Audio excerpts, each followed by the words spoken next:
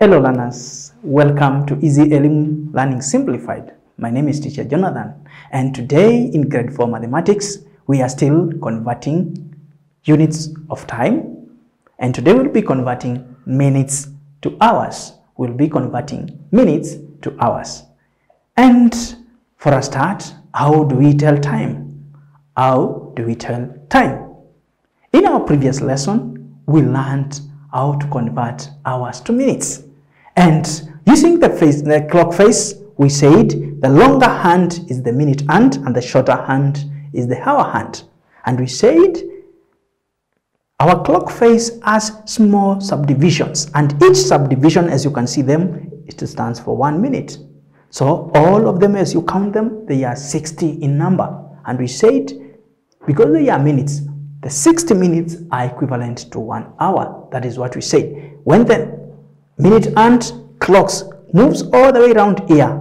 It means now the shorter hand or the hour hand will also move one hour. Now we said 60 minutes. 60 minutes are equivalent to one hour. When the shorter or the longer hand clocks all the way around up to here the hour hand will move one full hour now 60 minutes are equivalent to one hour learners now what about 120 minutes 120 minutes if now our minute hand has clocked 120 minutes, it means these are how many hours? What do we do? Now, in our groups, you can tell us, you can discuss what do we do now to get the hours? What do we do now to get the hours? This is our formula. If 60 minutes are equivalent to one hour, 60 minutes, uh, 120 minutes will be equivalent to what? It means now we cross multiply. It means now it is 60, it is 120 multiplied by 1 hour divided by 60 minutes. 120 minutes multiplied by 1 hour divided by 60 minutes. I've written in short. So minutes will divide minutes. We remain with hour. 60 here we can divide 0 and 0 we remain with 12 and 6. 12 divided by 6. Remember we said multiplication and division they are related. 12 divided by 6 it means there is 6 multiplied by something else to get 12. So you come to our multiplication table. You go to the multiplication table of 6. What do I multiply by 6 to get 12? The first, if you multiply by number 1 is 6 you multiply by 2 is 12. So it means 6 multiplied by 2 is 12. 12 divided by 6 is 2. So we get 2 hours. 2 hours. So 120 minutes is equivalent to 2 hours. You can also do this. You can also do this. Remember, when we were doing division using our own ways, we said division is repeated subtraction. Division is repeated subtraction. So how, do, how is it repeated here? How will it apply here? This is what we'll do. 120 minutes. Remember we have said we are taking away 60 minutes. So we, we take away 60 minutes. And when we take away 60 minutes, it means we remain with 60. Then again, 60 take away another 60 minutes. We remain with 0. So how many 60 have we taken away? We have taken away the first one and the second one. So it means it's 1, 2. We have 2 hours. You can use division as repeated subtraction or you use the way we have used here, the relationship between multiplication and division. Learners, if 60 minutes are equivalent to 1 hour, if 60 minutes are equivalent to one hour, now what about these minutes are equivalent to how many hours? Look at this one, 240 minutes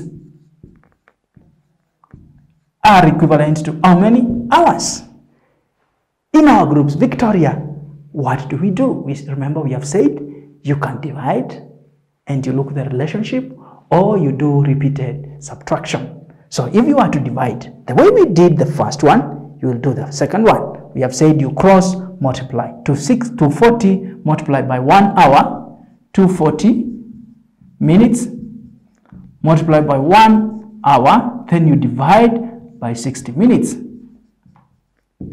We have said when you reach there, minutes will divide by minutes, we remain with one unit, that is hours.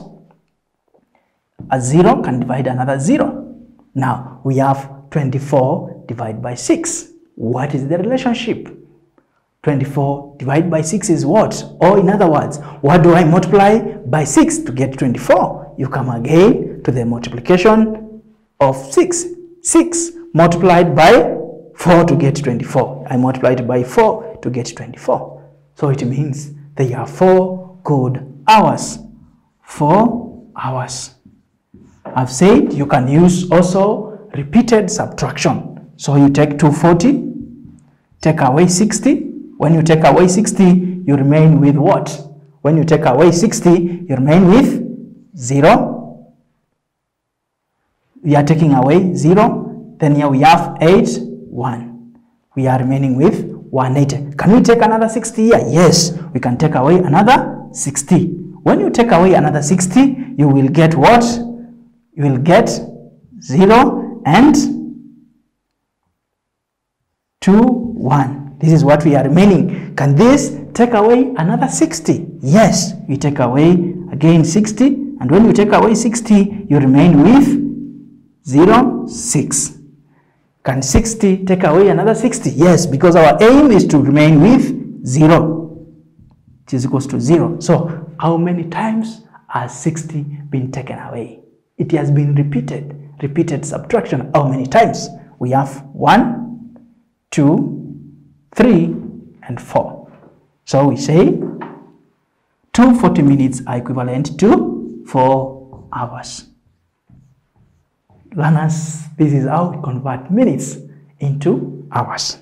Now, I have a task for us to do. Our task or the exercise for today, convert, convert to hours, into hours. What are we converting into hours? Number one, we are converting the following into hours, 300 minutes Number two, we are converting for 20 minutes. We are converting them to hours. Number three, we are also converting 80 minutes. Number four, number four, we are converting also 210 minutes.